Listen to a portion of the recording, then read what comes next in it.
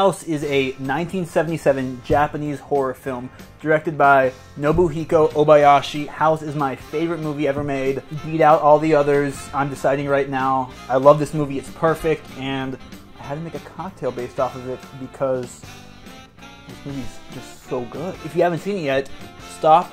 Well, actually, watch the video, make the drink, and enjoy it with the movie. It's the perfect blend of that kind of campy horror that I think is when horror is at its finest. And there's so much genius here from the editing to the writing to the horror scenarios. The film was originally conceived as the Japanese answer to Jaws following the commercial success of that movie.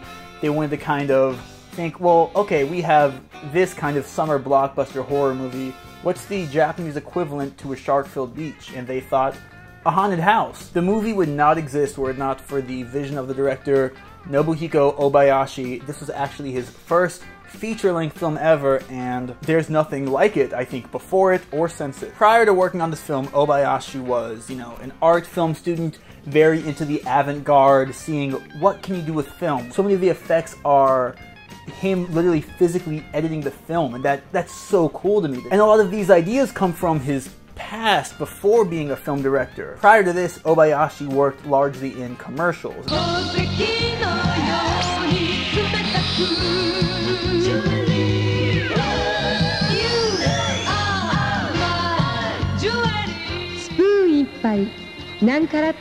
And I think that shows a lot with some of these other things that he did. But somehow, some way, he was able to rope the people at Toho, a Japanese studio, into allowing him to write this film when they were looking for this kind of blockbuster hit. And I think he was playing a long con here because when the script was finished, it was essentially unintelligible to people. No directors at the studio wanted to film it because every single one of them thought it would end their career.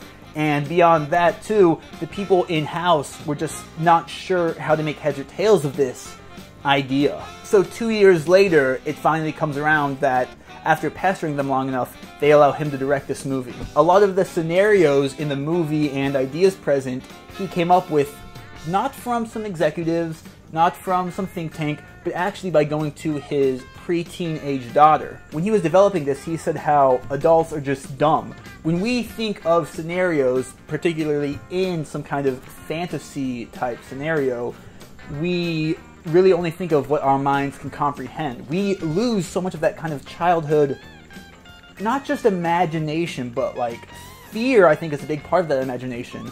So a lot of these things in the movie are things that either scared his daughter or himself as a kid. So you have a lot of his daughter's fears in the movie present. So things like your own reflection attacking you or pulling a watermelon out of a well that turns out to be a human head. It's some of his things like an old grandfather clock that were just terrifying. Or my personal favorite scene in the movie, my favorite horror creature in it, I guess, is the man eating piano. I think back to being a kid, being terrified to ever play the Haunted Mansion level in Super Mario 64, which I'm sure no doubt was inspired by this movie, where there's this killer piano that will eat you and attack you, and that literally would give me nightmares at night. And I think in general, a haunted house has so much potential for a motif, and I wish more people would use it and use it to this extent. Sadly, earlier this year in April, Obayashi passed away. He had a very fruitful career making incredible films Beyond House, many of which are just incredible, and I encourage you all to look more into him,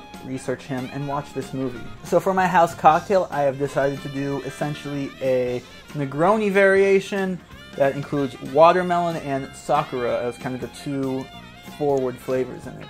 And I know that generally Negronis will be stirred, however, given the watermelon juice, I think shaken is the better way to go here. If you guys have seen my Negroni videos, then you know that's a very simple cocktail to make. Three even parts, gin, Campari, or another bitter, and sweet vermouth. I am playing with that today yet again, and I added a little something extra. So while many of my recipes on the channel are not typically ingredient specific, with this one it's much more determinant, I guess, on having this gin and this vermouth in particular. First things first, you love her or you hate her, just one ounce of Campari. You could use another bitter here, but I think that Campari, in my opinion, worked the best with the watermelon. Now up next, we're going to be using our vermouth. So the vermouth I ended up going for here was the Mancino Sakura Vermouth. It's this cool fusion of Italian and Japanese flavors. There's a lot of violet and Sakura here. But it's incredible and it is very lovely in any cocktail, specifically this one. That being said, these ingredients are pretty hard to source. I will see if I can find a place you can order them online and put that in the description. So now I'm gonna do one ounce of this. Up next for our gin, Roku is a gin by Suntory that came out, I want to say a few years back, at least in the West, and it kind of just took the gin community in world by storm. It uses a bunch of Japanese botanicals. There's some sansho peppers, some sencha tea, sakura, and some yuzu peel. All just flavors you don't typically find in your gins. So it really stands out, I think, on the shelf. And it's just delicious. It works wonderfully with the of Vermouth in particular. And like in Il Negroni, we're just using one ounce of this. Last, but certainly not least in this cocktail, we're gonna use half of an ounce of watermelon juice. To juice a watermelon, it's very simple. Literally just scoop it on up into a blender, blend it, and strain it over a cheesecloth, a mesh strainer, really anything into a bottle and you're good to go. So just half an ounce of this. So just add one whole cube into here and one cracked cube.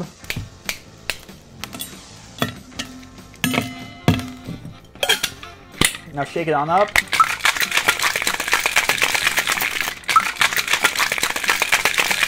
Now grab your glass. I prefer a coupe for this, but you know, you could use an old-fashioned glass. Place my cube on in here. Now get your strainer and strainer on over the cube of ice.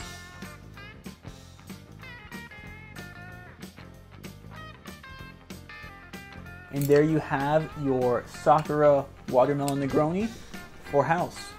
Let's give it a taste.